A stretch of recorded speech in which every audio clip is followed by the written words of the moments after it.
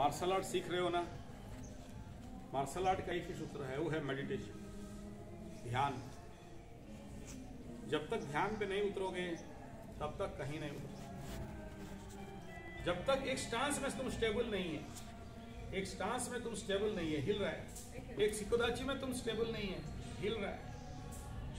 एक किक को lift up करते हो, यहाँ रख नहीं रख पाते हो, हिल रहा है। तुम्हारा शरीर हिल रहा है, मन हिल रहा है, ज़िंदगी हिल रहा है। एक टांग पे खड़ा होते हो, नहीं खड़ा हो पाते हो, हिल रहा है।